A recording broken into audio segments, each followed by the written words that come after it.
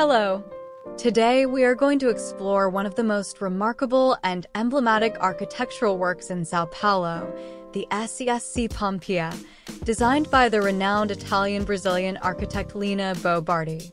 Lina Bo Bardi, born Aquilina Bo in 1914 in Italy, was a prominent architect who left an indelible mark on the Brazilian architectural scene. Her trajectory is marked by a humanistic and engaged approach, seeking to integrate architecture with people and social context. Her influence goes beyond Brazilian borders, being internationally recognized for her innovative contribution to modern architecture. Don't forget to like and subscribe. SESC Pompeia is the result of a bold project that transformed old industrial warehouses into vibrant cultural spaces. Located in Sao Paulo, the complex was inaugurated in 1982 and has since become a reference point in the city, combining history, art, and entertainment. Lina Bo Bardi's vision for SESC Pompeia was to create an inclusive and multifunctional environment where people of all ages and backgrounds could meet and participate in diverse cultural activities. Prismatic volumes, the structure is composed of three prismatic volumes of exposed concrete, each with its specific dimensions and heights.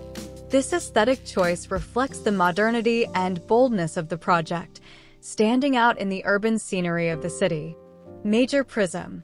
With five floors, it features load-bearing walls and irregular windows that give it a unique aesthetic.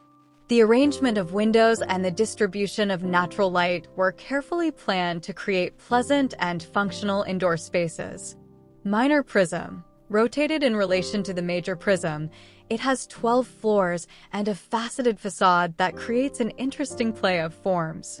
This unconventional arrangement of spaces reflects the creativity and freedom of expression present in Lina Bo Bardi's work. Cylinder, a concrete cylinder joins the minor prism, standing out for its shape and integration with the ensemble. This cylindrical structure adds an interesting visual dynamic to the complex, harmonizing with the adjacent prismatic volumes. Walkways and accesses.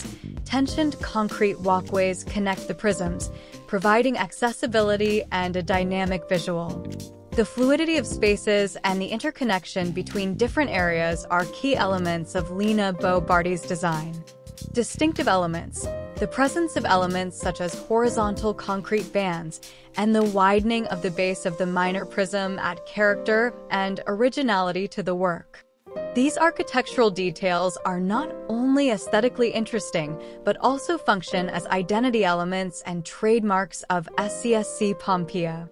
Integration with the environment. The project values the relationship with the surroundings, including the Agua Preta stream passing under the walkways. The integration with nature and the concern for the environment are important aspects of Lina Bo Bardi's philosophy, which sought to create spaces that respected and dialogued with the urban and natural context. Lina Bo Bardi was a champion of architecture as a form of cultural and social expression, reflected in every detail of SESC Pompeia. Her innovative approach and humanistic vision left a lasting legacy in Brazilian architecture. The complex houses spaces for cultural, sports, and leisure activities, becoming a hub of diversity and inclusion in the city. The diversity of programming and openness to different audiences are aspects that make SESC Pompeia a dynamic and welcoming space. The integration of materials such as concrete, wood, and metal highlights the architect's concern for sustainability and durability of structures. Lina Bo Bardi had a holistic approach to architecture, considering not only form and function, but also durability and environmental impact of her creations. Now that we've learned more about the fascinating work of SESC Pompeia and the genius of Lina Bo Bardi, I invite all of you to subscribe to the channel, share this video, and leave your comments. Let's explore more amazing works of Brazilian architecture together. Until next time.